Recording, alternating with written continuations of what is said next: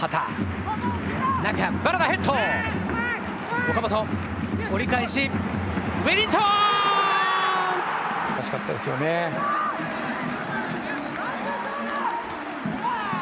あとはウェリントンのこの下がりながらのヘディングですが彼にしかできないよボールを回収できる力ありますので、はい、えー、流れを変えてほしいですよね。そのフォギーニボールを奪ってさあ出足のいい守備シュートいったここの抑えたシュートも素晴らしかったですしここの自分のマークを捨ててここボールを奪いにいったところが全てですよね。シュートも素晴らしい。低いボールできた。抜けていく。そして押し込んだ。伊藤敦樹押し込みました。外にいた伊藤が押し込んだんですけれどもこううまくスクランブル作りましたね江坂を使う伊藤スルーで関根からもう一度もらう。裏抜け出すキーパー出てくる。こぼれているがどうかな押し込んだ。田中達也。追加点です浦和レッズ。非常にいい崩しでしたね。はい。天野。さらにはエーベルから前田。前田が持っていって中パー水沼マイナスデオセアラ1点返しました。ないかっていう方法の一つとしてやっぱり背後に入れてディフェンスラインを下げさせるっていう方法あるんですけども。グラウンダーこれが通った。藤田。西矢です。落として藤田。先制徳島マルティスそこの後ろにできたスペースを宮代大勢出てきた。このワンタッチが藤田斜めに入れたの。これが効いたんですよね、はい、まあ、しかし仮に競り勝てなかったとしても柿田はやっぱりセカンドボールを生み出してくれますね。おその柿田抜けてきた。柿田だ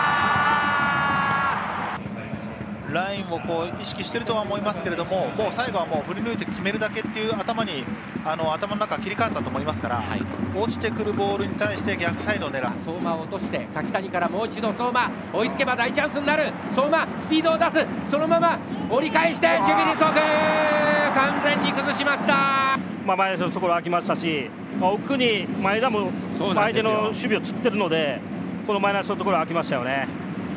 あとは正確に、まあ、左足のスペースを使ってきます。中に入ってきた。前田。横パス入れる。柿谷角度ないところシュート。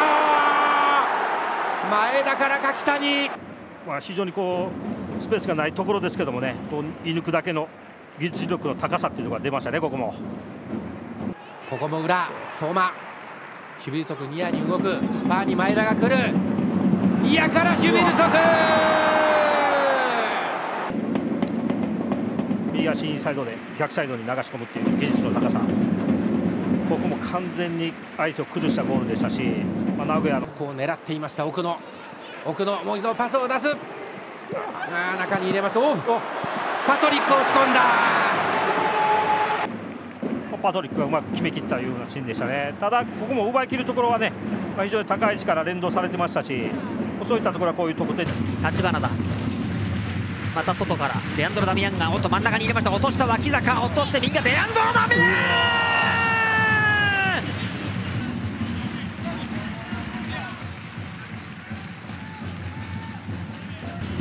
ン！立花だ。おお来た。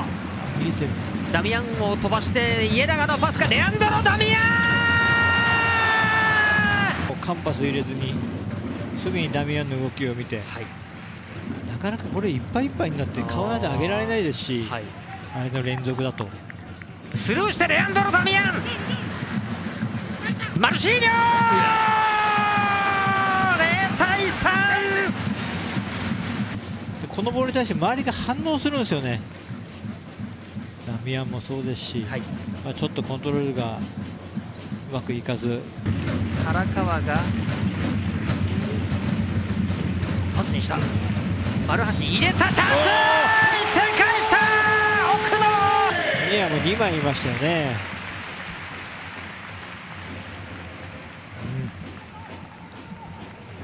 さすが奥野じゃないですかこれも。はい。瀬古のカバー遠野。切り返したチャンス遠野折り返し。逆宮城が打つ